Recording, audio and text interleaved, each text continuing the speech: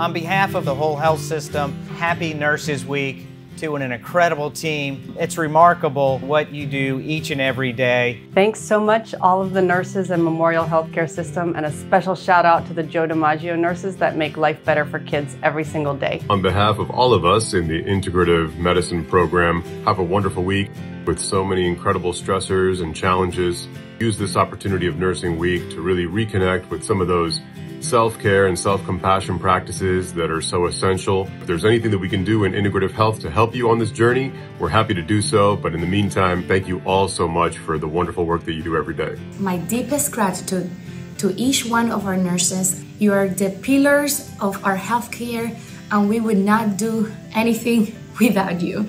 We really, really appreciate everything. Thank you.